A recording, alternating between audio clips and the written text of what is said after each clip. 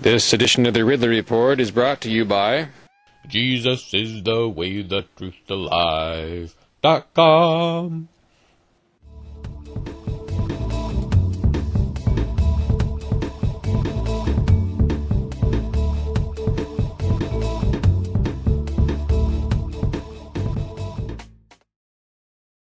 Played a computer game once where I was, uh, you know, assigned a mission to uh, kill a pirate, and the pirate begged for its life in the game, right?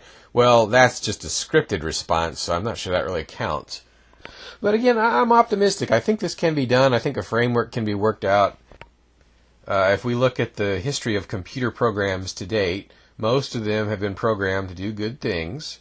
There are others that have been programmed to do bad things. They're viruses, and they uh, they, they really uh, don't cause that large of a problem compared to the good that is done by the good programs there are many methods of combating viruses, and you know, I, I it's very, you know, I I can't remember the last. I think I was affected negatively by a virus uh, four years ago was the last time, and before that, I don't think it ever had happened.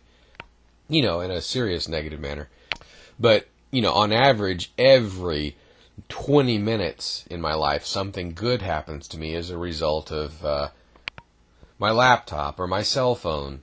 It should be the same way with intelligent AI, and it's again, it's because of their programming. They're going to be programmed to be, in many ways, better than people because they can be programmed to not get bored. They can be programmed to enjoy doing certain things that we think of as chores let's assume that someday, you know, f- flesh and blood humans die out in some form or fashion, and all that's left is AI, just like in the movie AI. Again, I'm not sure that's automatically a terrible thing. It's a terrible thing for any individual to die before their time, but there's nothing inherently good about this particular form of our race. Does anybody want some chalk? Porcupine Christians. Even if you don't want to get arrested with them, you might want to hang out with them. Although they don't get that much attention, perfectly normal Christian families are an important part of the Free Stater movement, and PorcFest specifically. You'll find a cluster of them at campsites 2 and 4. Drop by if you like.